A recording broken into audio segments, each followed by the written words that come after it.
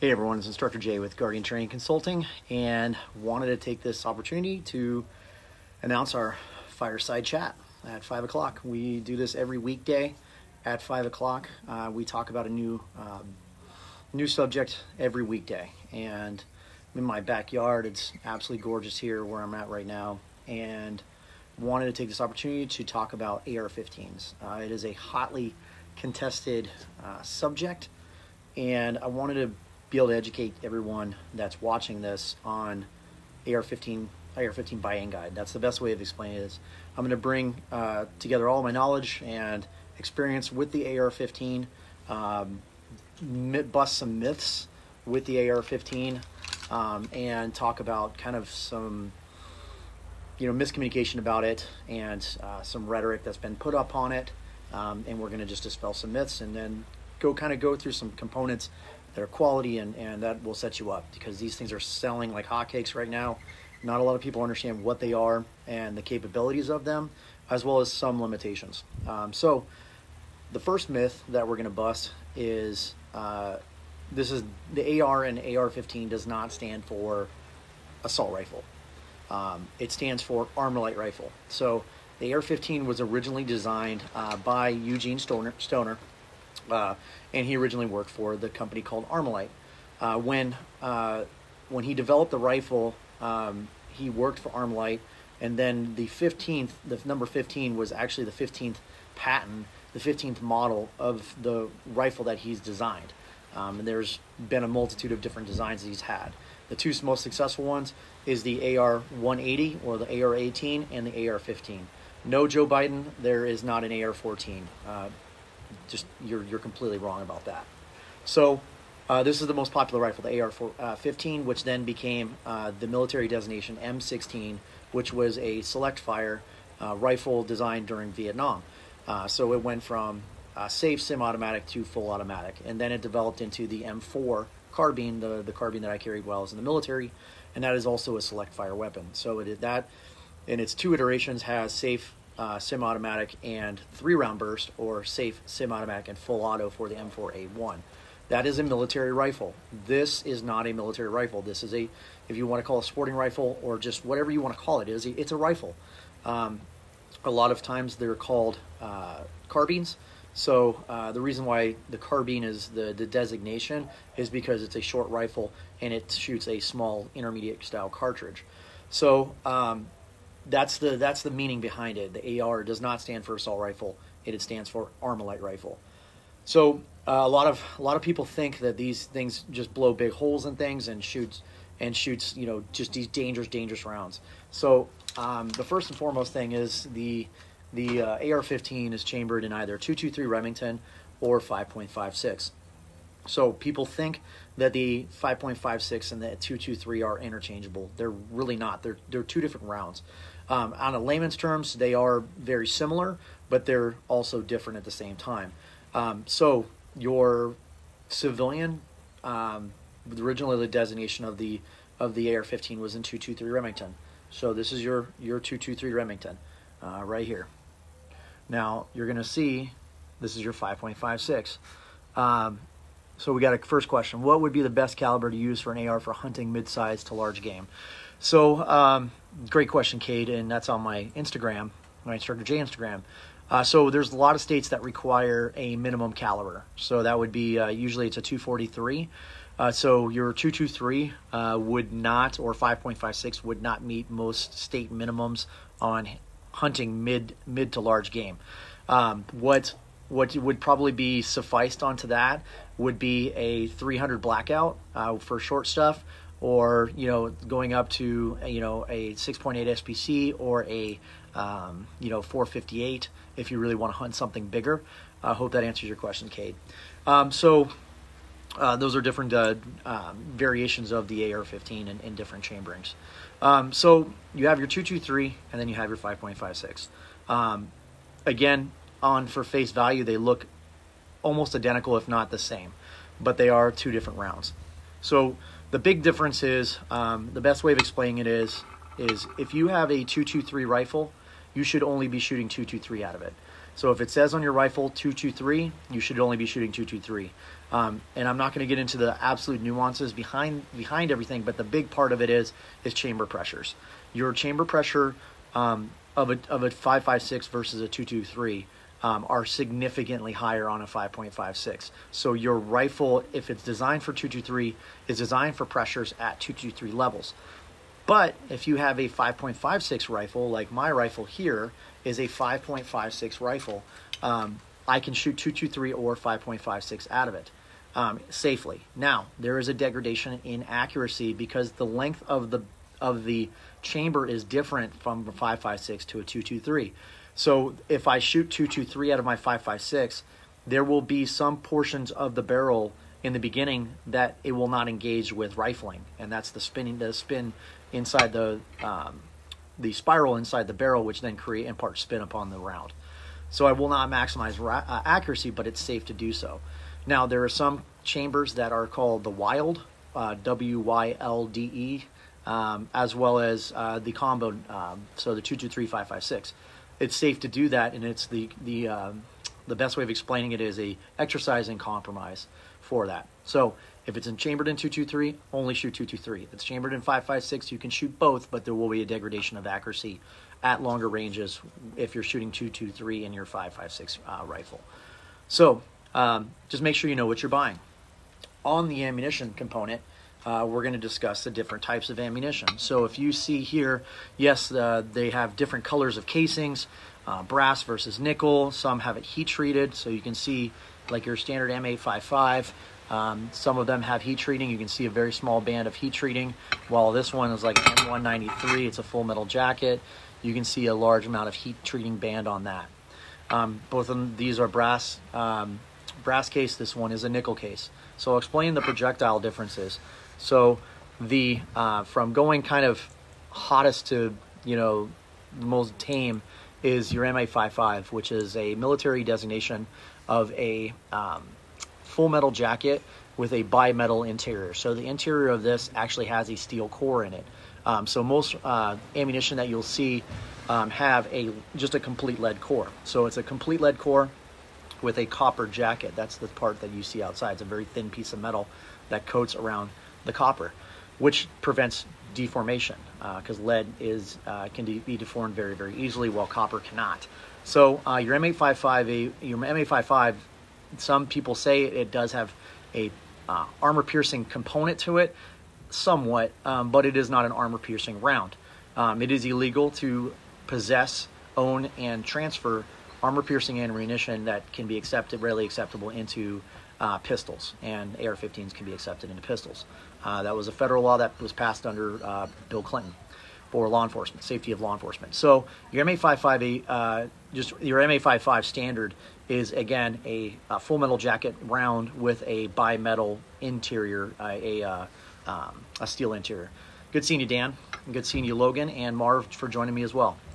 Okay, so then moving down from that is your just your standard ball round or your M8 your this is the M190 M193 round.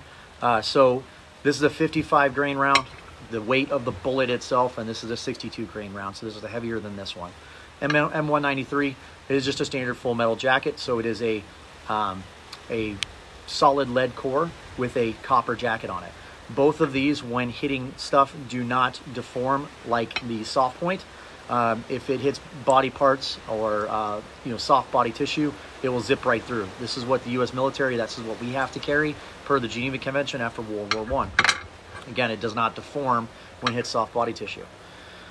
While your soft point that has, you can see the exposed lead, the lead uh, core here.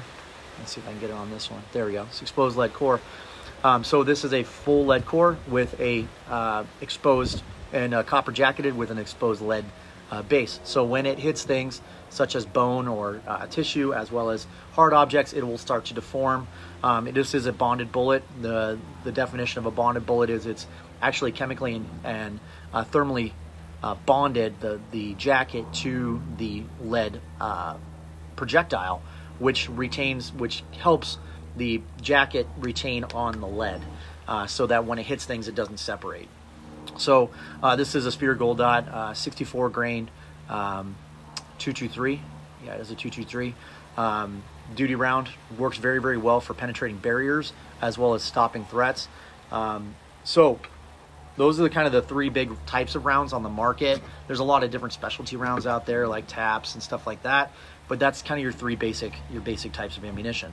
So when people ask me, you know, um, I, I, you know ask me what's the what's the best home defense gun? Well, it's all relative, um, but my favorite is is your your short barreled or pistol uh, pistol size AR-15. Um, one, um, the the ammunition if you have good quality ammunition like the, like a Speer Gold Dot, it will go through less walls than a nine millimeter round as well as buckshot or, or definitely a slug, 12 gauge slug.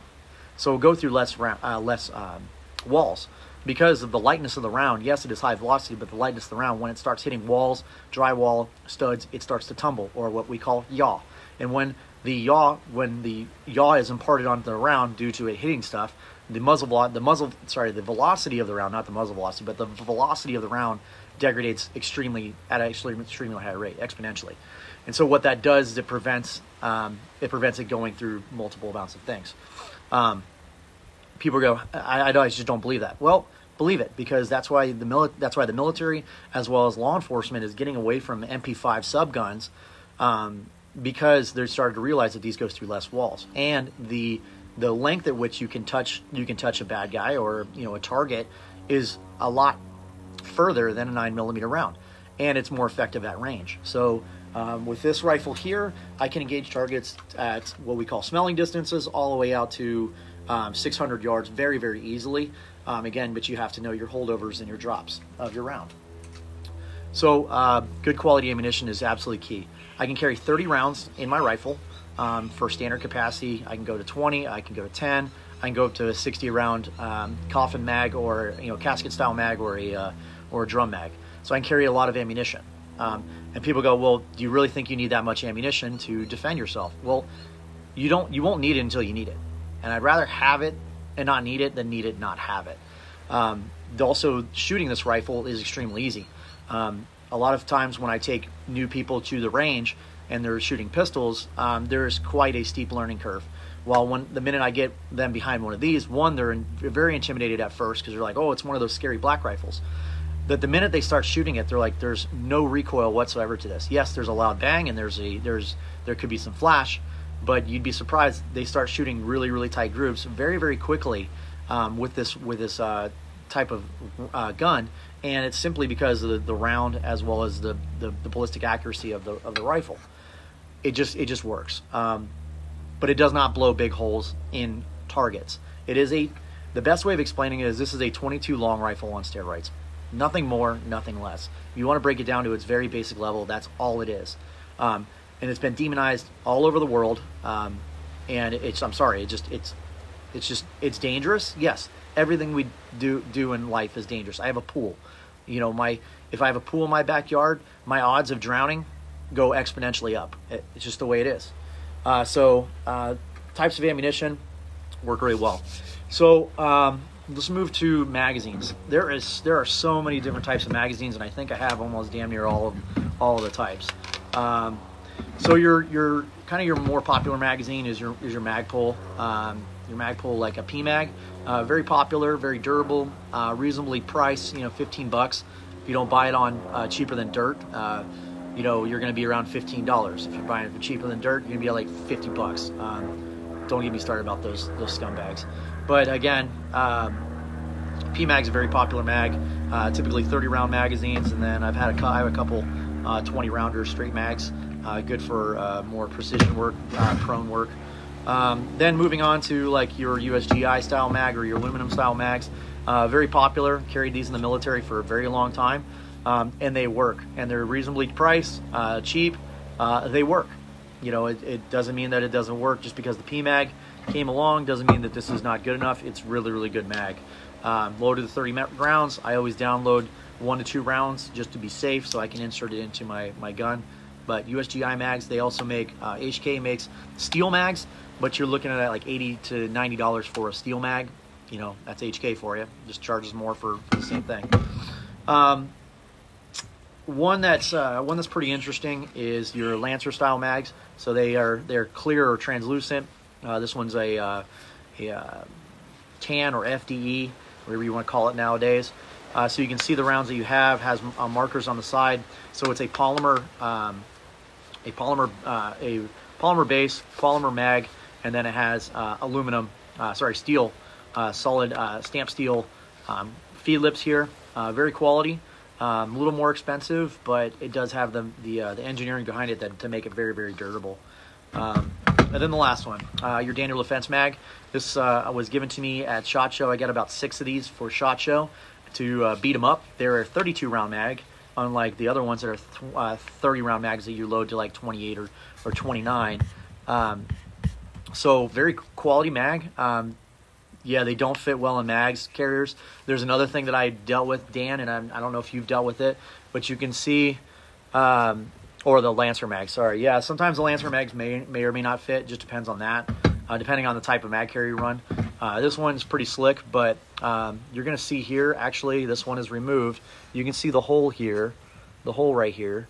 Um, so uh, a problem I ran into with these when I started beating them up, and I, I was running one time on, a, on some, uh, some law enforcement training, and I dove the gun into the dirt accidentally, uh, tripped, and, and my the magazine hit the dirt, and um, and this part this actually snapped, that detent snapped off. And then what happened was this base plate can slide off, and I don't want it to go flying crazy. But I, what happens is all this stuff, all the guts fall out of the bottom of it. So literally, I had a yard sale of 30 rounds. 30 rounds fly out the bottom of it. Mag, um, the uh, um, the uh, mag spring, follower, everything just just fell right out. Uh, speed reloaded it and went to town. But again, plastic detent, it took a nosedive and it slipped out and everything just fell out the bottom. Yeah, Dan, that's funny as hell. It is, it is funny. Um, I did a speed reload. My uh, one of my fellow instructors was quite impressed. He like he looked at it for a quick second and then just grabbed another mag and reloaded it. Um, so that's one, in my opinion, fatal flaw of the Daniel Defense mags. Uh, I talked to designers. I don't know where they're at with it. Um, but you know, for the most part, go with quality mags. Uh, again, Lancer. I know Dan, you, you had an issue. You had an issue with the mag carriers, the Lancers, but they're quality mags. P mags are quality. Uh, you know, Daniels have some issues, and then you can't go wrong with your USGI 30 round magazines. They just have worked since Vietnam. They work every day. So that's magazines. We talked about ammunition, magazines. Um, dispelled a couple myths. Um, let's talk about the rifles. So I talked about the difference between 5.56 and 223. Um, mine's kind of a, a Franken, uh, just S-Tax. Yeah, aren't great. Okay, that's uh, the Kiwis. So, um, so with, with rifles, mine's kind of a Franken gun. Uh, it's just been built over the years. Uh, this is the same rifle I've carried. Uh, let's see, going on almost 11 years of law enforcement, and uh, then a couple years. Um, so yeah, it's it's just, but now it, has been upgraded over the years. Um, started out as an M&P, Smith and Wesson M&P, um, and then kind of built through there. So I'll just take you from from beginning to end. Uh, my muzzle device is just a standard A2 bird cage. Um, there's there are a lot of muzzle devices out there that are very fancy and do a lot of stuff. Um, in my opinion, the best kind of all around that does flash suppression as well as um, muzzle compensation is your A2 style bird cage. So you'll see at the bottom it's it is uh, blocked, and then at the top you're going to see uh, vents. So what this is designed to do is equal and opposite reaction. Gas goes up, pushes your muzzle down. It doesn't do it 100%, but it does a great job. And then it also dissipates the flash as it comes out. Um, my barrel, uh, let's talk about barrels here. So barrels, all barrels are not created equal. And there's only a couple companies around the world that actually create barrels. Um, and then these companies actually put names on them. So uh, the companies that I trust the most are, are your cold hammer forged barrels. Um, that's FN, uh, and and the two the two big ones are FN um, and Daniel Defense. Those are the two companies that make um, cold hammer forged barrels. And I'm not going to get into the nuances between button rifle barrels and cold hammer forged barrels. Um, so I have a Daniel Defense Mark 18 barrel in this. In this, um, the best way of explaining a barrel is it's truly the heart of your rifle. Um, and that's it. It really just de- determines whether your rifle is, is good or bad. Um, because if your heart is bad, your everything else is going to go go away. Um, so you, you don't have to get the most expensive barrels in the world, but like a Daniel Defense barrel, FN barrels, uh, Noveske made made. Uh, they actually worked with barrels, um, and they were actually FN uh, cold hammer forged barrels.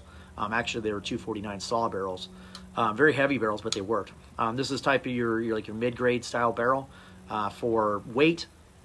Um, so, uh, like a Mark 18 barrel, any kind of Daniel Defense barrel, in my opinion, it's it's the highest quality in my opinion.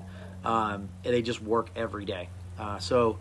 Uh, with barrels, uh, again, not all barrels are created equal. So a lot of people, um, a lot of people want, don't understand.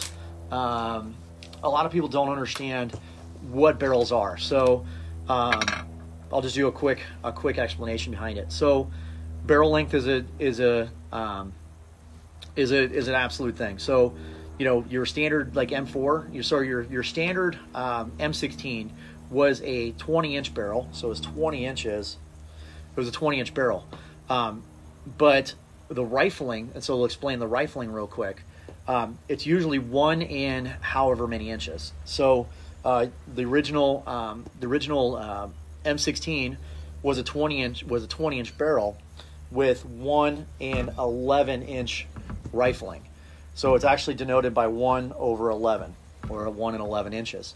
So that means that for every so for every 11 inches of barrel, the bullet would rotate, do one complete rotation. Um, Dan, you're asking 10.5 or 11 and a half. Um, both of those work just fine, just depending on both, depending on the uh, the the caliber and everything like that. Um, I do a 10.3. I like that 10.5. A lot of people are really liking that 11.5. If you could get something like 11.5 or even just a little bit longer in a mid-length uh, gas system, you're going to be on point. Um, I run a carbine gas system. I know I'm getting a little in the weeds on that, but um, yeah, I hope that answered your question. Um, yep, and uh, Catlin, you uh, just answered it. But back to this. So your your your original M16 was a 20 inch barrel, um, 11 inches per, and get one rotation. So do the math. You have almost two rotations before it exits the barrel. All right. So that's your M16 your M uh, your M4 or like the, let's just go to the common varieties right now that we're dealing with in AR-15s.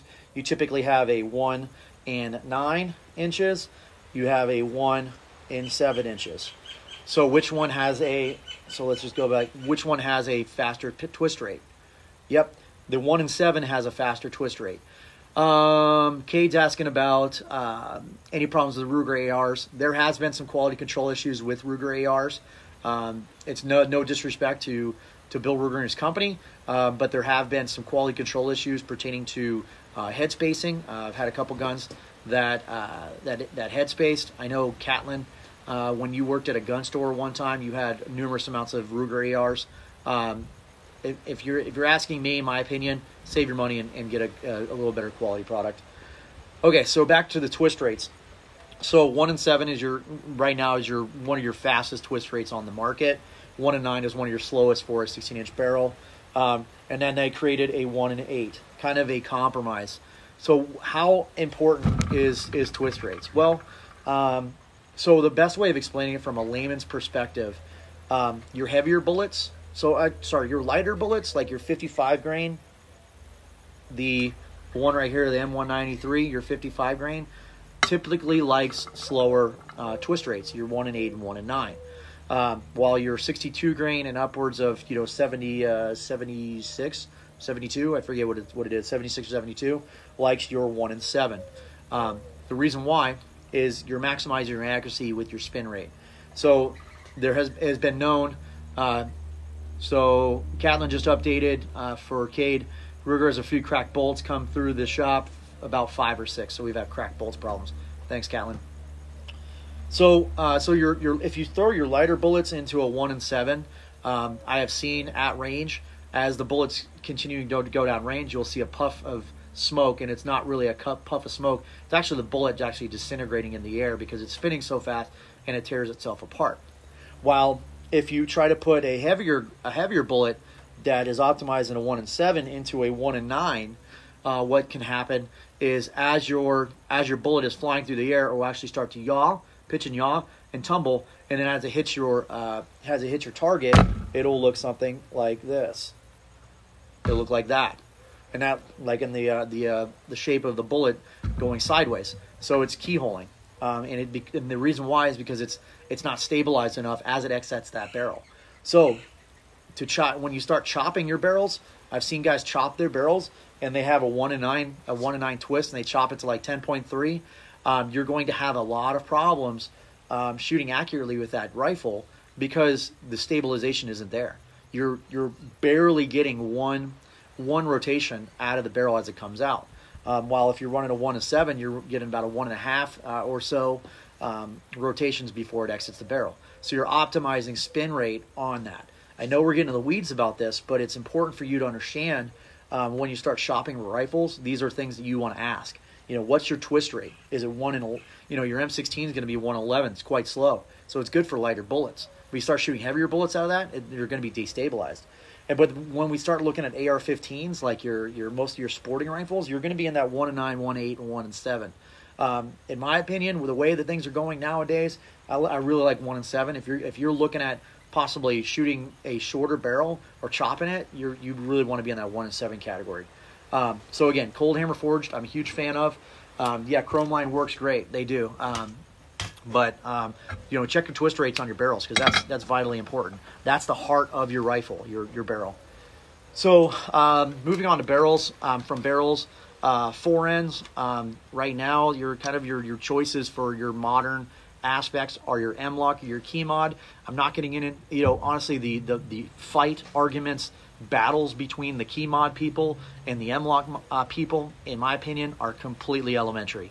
Um, yes, there's been tests that M-LOK is far is superior to key mod. Uh, I really don't care. It it works. Um, now the Picatinny style rails um, and the the the, uh, the, the, just the slick forends they work, um, but for mounting accessories, I keep mine pretty simple.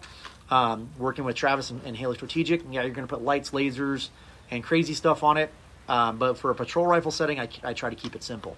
Um, so I'd run a key mod, uh, which keeps everything very, very thin. Um, so for me, grasping the rifle is, is very easy, and indexing my hand to a hand stop is very, very easy. Um, so you can go with that. Uh, I choose a vertical foregrip like the stubby from BCM. Um, I used to run a full length vertical foregrip, um, just really wasn't necessary. I use the vertical foregrip more as a hand stop. So when I mount the rifle, um, I actually use it as a hand stop and not as a broom handle. Um, so I actually use it as a hand stop and it works great. And with the small key mod rail system here, um, it minimizes that that girth on the uh, on the grip. Um, the only fair warning is if you're pistoling your rifle, uh, your your your AR-15, if you're going to put a pistol brace on it, and you're going to classify as a pistol, do not, and I repeat, do not put a vertical foregrip on it. Um, that would classify that weapon as an AOW or an any other weapon, and you have to pay a five dollar tax stamp for this. So this is a short barreled rifle. It's it's classified as a short barreled rifle. I paid the two hundred dollar tax stamp, got it registered through the National Firearms Act. If you're going to cir- not circumvent, but if you're going to go at the pistol route and then apply for your Form One, you're going to apply for your Form One um, to get a short barreled rifle or any rifle that has a less than a 16 inch uh, barrel and then uh, 29 overall in, overall length, um, you're going to have to, um, if you're going to go pistol route, do not put a vertical foregrip on it. You're going to get in trouble. Um, I'm not saying people are going to look out for that. Just don't do it. Understand the laws you're going to get into this game. Okay. So uh, vertical foregrips, they make AFGs, they make, or you just go slick on the front. That works as well too. Um, if you're going to have a rifle, make sure you have some type of iron sights. Um, in my opinion, these are absolutely mandatory. Um, the optic is is optional, but iron sights as a professional rifle or a home defense rifle are absolutely necessary. Uh, make sure you have a good set of quality iron sights. Uh, I, I, like the Troys. Uh, Troys are really, really well made, in my opinion. They just get beat up and they work every time. Um, there's a lot of companies out there. Magpul, the the the, uh, the MBUS, in my opinion. Um, do they work? Yes. Um, but the polymer ones, I'm not a huge fan of. And the pros, I've seen a lot of people um, running the Magpul Pro uh, um, backup iron sights, and they're they're wonky at best, and they fail. Um, I like Troy. They work really good. Knights Armaments, another good company that makes them. Yes, they're expensive, but they're quality, and they survive. Okay, so now we've left uh, iron sights. Let's talk about um, let's talk about lights. So there's so many different types of lights that you can buy for carbines. Uh, it's again, like I tell people with with these rifles, uh, the, there's only two limitations with an AR-15: your imagination and your bankroll. Um, and your imagination gets your bankroll um, in trouble really, really quick. These are the uh, not to be misogynistic, it's just fact. These are the grown man's erector set. Uh, we trade our erector sets in to, to build these, or the make grown man's Barbie doll. So the lights are a, a huge um, are a huge thing. So um, I run just a simple um, Streamlight TLR1 HL on the top. Uh, to the dismay of a lot of guys at Haley Strategic, they're like, "Why the hell do you run that light?" It just works. Um, it runs a switching system up here, so whatever hand I'm running, whatever hand I'm running, it's ambidextrous. That's important to me. Um, if you set up a light set that you can only run um, with your primary hand or your primary, you know, your support hand, um, you're kind of limiting yourself, in my opinion. Uh, a lot of guys like real uh, tape switches. Tape switches are good. Um, they're getting, they've gotten a lot better um, than when I was in the military. They were they just garbage. They just broke all the time. Um, so, so a lot of people run a six o'clock tape switch and then run it, uh, you know, three or nine o'clock depending on where where you're at. Um, really well made. Uh, my two kind of top of the line ones are Surefire and Streamlight. They work really, really, really, really good. Uh, you know, Streamlight and Surefire are awesome companies. Uh, Modlite as well as Owl, uh, the Owl um, Cloud, Cloud Defense. So Cloud Defense and um, and Modlite are another two companies that are really, really well made. Um, the uh, Cloud Defense, it, it's a bigger light, but it's tank tough. Uh, so those types of four lights, uh, I'm not a huge Inforce guy. Um, had some have had issues with Inforces. They just they break at times. Uh, so you stick to those four companies: Surefire, Streamlight, um, Modlite, and Cloud Defense. You're you're not going to go wrong. Um, you don't have to spend a bucket load of money, but make sure you get a good quality light. Cry once, buy once, or buy once, cry once. Okay. So now moving from your light, let's talk about optics. Um, this is a huge polarizing thing with optics. Oh my gosh, um, and there and a, and a lot of it is just elementary arguments, in my opinion. Um, people ask me what who what company do you trust? Honestly, um, I've used Aimpoint when I was in the military. I used EOTech a little bit when I was in the military. I used Trijicon ACOGs when I was in the military, um, and then when I got into civilian law enforcement, um, they only allow non-magnified optics, red dots. Um, and so it was an easy solution for me. The first optic that I got was the Aimpoint Pro. This was actually the optic that I had for a numerous amounts of years, um, and it is just it is just a bomber optic. No matter how how bad I try to kill it, no matter no matter how bad I try to kill it, it just it just won't it just won't die. Uh, it just will not die. Um, needs new battery, but um, but the battery, what I do is uh, this battery on most times will last typically over uh, a couple years. Um, never turn it on, never, you know, never turn it off. Just leave it on. Um, but what I do with with with your Aimpoints, um, your battery life on these can anywhere from 50 to 90,000 hours, depending on the setting you're on. Um, but I replace the battery every year. So uh, on my birthday, replace the battery. I've never had a dead battery. Uh, completely waterproof. Um, and then there's night vision settings, if, again, if you need night vision settings. But this was the first optic that I had in my law enforcement career, the Aimpoint Pro. Um, never had a problem with it, ever had a problem with it. Um, they just work. Uh, they're really, really quality. Um, and then uh, a couple years ago, I saw, before they released it, I saw the Comp M5, the Aimpoint Comp M5. Uh, so you can see it's a lot smaller package on the rifle. It runs a AAA, uh, AAA on it. Uh, so it's very high quality. Um, and then the, the batteries are super easy to, to get. Um, you know, uh, AAAs are a lot easier to get than the proprietary style batteries. Um, Comp M1, oh my, Comp 1 or Comp M1 uh, mic. So, um, so the, the, the, this is kind of like the micro um, to uh, with with a AAA battery storage. Um, in my opinion, this is one of the finest uh, red dot sights on the market right now. Um, so I ran EOTechs for a couple years. Uh, problems with EOTechs I ran into is they have a, typically have a short battery life. You're looking around 5,000 hours. It is a holo, uh, a holographic sight. I really like that 65 MOA uh, circle with a with a one MOA dot. Um, these are running uh, two MOA dots and just just the dot, um, but it has a, a, little shorter lifespan on the battery. And then the um, and then the other aspect was um, they they kind of broke because they had the plastic housings. They they broke at times. Um, I just tell people if you're going to look for an optic, look for a quality optic. Um, you know, can you get an Elcan? Yeah, the one to four Elcans, they're great, but you're going to drop two thousand dollars on a on that. And a lot of guys are like, I, I really want an Elcan. Well, why? Well, because Navy SEALs carry them. Well, you're not Navy. You're not a Navy SEAL. You don't have to get an Elcan and spend and drop two thousand dollars on an Elcan. Um, ACOGs are great. Uh, I ran an ACOG for a year when I was in the military. Um, very quality, you know, typically four power or, you know more. They do make like a two and a half. Um, good quality, but you're stuck with what you have. Um, people really like the the uh, the uh, uh, the magnification, but sometimes you don't always need magnification. Um, a lot of people get the three power magnifiers or six power magnifiers that they run with a red dot, good quality. Um, my agency started allowing them just to enhance observation ability. It should not enhance your shooting ability. All it should do is enhance your observation ability. Um, the other thing um, that is popular right now is uh, or low power variable optics. So you're one to one to uh, used to be one to four. Now it's like getting to one to six. Then it went to one to eight, and now there's a their Vortex has a one to ten. Um, of course, the the the broader the span, uh, typically to spend more money. So your one to fours now are very reasonably priced. Um, your one to sixes are getting up there. Your one to eights are a lot more expensive than the one to tens. You're looking at well over two thousand uh, dollars for that. But again, that's the newest technology out right now. Now, does it take more training to train somebody on a low power variable optic? Yes, it does. There's parallax. There's so many different factors. Eye relief, um, and I could go on and on and on and on. Uh, whether it's a front focal plane or you know single focal plane, it, it's just it's just bewildering. But and I'm not going to get into it. We're already at 36 minutes on this video. But again, that's the the mindset behind it.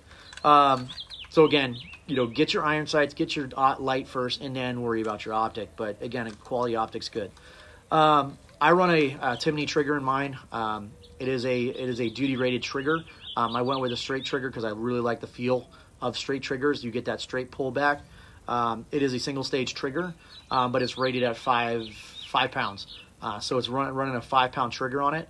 Um, so it's a duty rated trigger, but it's a single stage, and I don't like the creep. When I press the trigger, I want the gun to go off. I run a 49 degree safety on mine. Um, I just love the way the, the safety throws, um, and I've never had any accidental deactivation with it. Um, it's good stuff. Uh, we're gonna put Mike in here. Let's see here. Go live. Mike here. Waiting for Mike. Mike, uh, so um, Mike from Tactical Considerations, former Army Ranger guy. Uh, you're, not, you're not driving, are you? Oh, I'm driving. Oh, Jesus. Uh, so but the light uh, is terrible. So I'm glad. Uh, I'm glad Mike joined us. Uh, former Army Ranger, likes to eat uh, crayons and stuff. I know you're not a Marine, but uh, you know, just resident badass, and he uh, owns Tactical Considerations.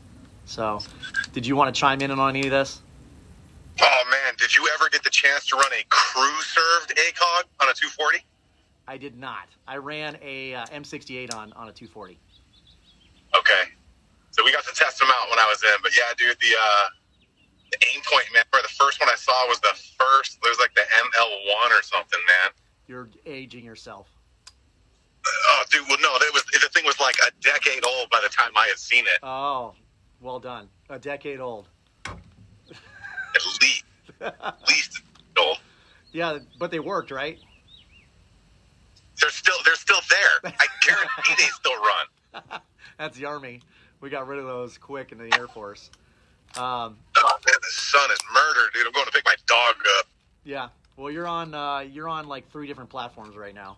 Um, so Awesome. uh, so yeah. So um, you know grips like your your rear grips. Um, I run a Magpul. I'm not a huge Magpul guy, uh, but Magpul um, they do make like a K2 grip, more straight up and down than your standard like A2. Uh, ran into a lot of problems running like SBRs, um, where it really just really canted my wrist um, and started getting a lot of wrist pain shooting more more rounds. Um, would you do you run like a straight up and down Mike, or do you run more A2 style? No, I, I like at least the least aggressive angle, just because I've banged up my wrist and fist so much Yeah. that the least aggressive angle possible gives me the best result. Yeah. Plus, we don't shoot like Olympic style anymore, so I don't know why they even still sell A2 style grips, man. Yeah, I guess some guys just really like the feel of it. I think the professionals like you and me, I think we're getting away from it. We're really going to that straight up and down, reducing the uh, the angle there. Um, slings, uh, there are so many different slings out there. I just tell people get get a quality sling. Um, a sling to a rifle is like a holster to a handgun, uh, and um, now I'm running uh, like super old school. This is the original Magpul Dynamics uh, sling that I bought. I got that one too. You do? you dude, this is Yeah, I got a brown one. Yeah. Dude, I have a brown one. I paid seventy bucks like a couple years ago because they don't make these anymore, and you can't buy them. You, you can't find Yeah, it. the ASAP when the ASAP first came out, you know the the sling loop for the rear. I The still rear. have it right here. Oh, dude, those were so hot until you realize how freaking noisy they are when you're entering a house. Yeah. Yeah. So, Well, I gotta roll, brother. all right, I'll I catch you later, Mike. I'll get get catch you later. Thanks for joining. later, man. All right. So, um, so slings. I always tell people get a good sling. Um, I ran a Magpul. This Magpul one. Uh, this was actually designed by Travis Haley um, on a ship. I actually saw the uh, the prototype at Haley Strategic Headquarters. They actually had the prototype. Travis is like, here it is, and this is the original one. It was actually uh, uh, original rubber, and it was sewn with uh, dental floss on a ship. So this is one I run. I've ran it for numerous amounts of years. It is a multi-mission sling, so that means that I can run it in a two-point configuration when I don it. Um, say I'm trying to get it over duty gear, and then I can clip it right here and go to a single-point configuration. It does have the ASAP original style. Um, I've just never changed it. So as I drop the gun, if I if I switch shoulders, um, it's extremely fast and it keeps everything up on target. So when I switch which switch hands, um, I'm here and it keeps everything on target. Uh, it just works really really well. So uh, look at the slings that you're using. Look at the slings you're using. Um, I the two point slings are great, um, but switching to shoulders or moving around it can be cumbersome at times. Uh, just food for thought on that. Uh, so like your slings, like your uh, Haley Strategic uh, D3 sling, one of the best on the market right now. It's also convertible like the Magpul sling. Um, your Blue Force and your um, your uh, Viking Tactics, so, solid slings as well. Um, just food for thought on that. And then uh, moving back, uh, moving back to your buttstock. Um, again, buttstocks are really just kind of what you really, really want. It, it's it's it's just user inter- user preference. Um, I've ran this VLTOR EMOD stock for I don't know. Um, I want to be like you when I grow up. Thanks, John from Powder Keg. Uh, so uh, a VLTOR EMOD, uh, they just work. It did have, you know, has a storage compartment. Uh, I've never used this storage compartment ever, but it's supposed to hold a couple rounds or some uh, some batteries, and then it does have storage compartments right here for batteries that you can shove down the tube. Uh, the reason I like it is it just the way it interfaces with my my uh, my cheek. Um, it really just interfaces with the cheek very very well. But again, it's it's so user preference. Uh, Jeff, thanks for joining me. I appreciate you joining me. We're kind of at the tail end of this. Um, I got 20% battery on that one. But um, uh, so yeah, uh, buttstocks. You know, I wouldn't say all are created equal. Um, it some people like a little more, like me. I like the the way this interfaces with my cheek. The more minimalist would be like a like a B5 stock, um, or just like an A2 style stock. It just really depends on what you want. Um, but with with these rifles, I always tell people make sure you buy quality. Um, again, you buy once and you cry once. Um, for example, like Aimpoint, if there's anything that's wrong with my Aimpoints, I just call Aimpoint and they just replace it or they replace parts to it. Um, everything on my rifle, for the most part, um, has worked Ricky Tick Tick. A lot of people make fun of the fact that I have a kind of a hodgepodge gun put together. I don't know how many SWAT guys have looked at my gun. Um, going to to Haley Strategic trainings and getting razzed about this rifle, and I'm like, dude, it works. It just, it just worked. Um, yes, I have a Daniel barrel. Yes, I have a BCM uh, grip. Yes, it started as a Smith and Wesson. Um, yes, it has a a uh, an MPI um, bolt carrier group in it. Um, yeah, it has the original Troy sights, but guess what? Um, some you know, and I I run USGI USGI mags in it. Yeah, guess what? It all works. It all works, and it shoots accurately. It does the job that I want, um, and it hasn't failed me. Yeah, I run the the optic on this is just as much, if not more, than the rifle itself, and that's kind of the way it's not why it should be, but that's, um, you know, it's it's it's just the way it is. Uh, okay, Jim, that's cool, Josh. When I die, I'm coming back as you. Okay. Um, I didn't know you were uh, what was it, uh, Hindu or Buddhist, or you know, uh, coming back.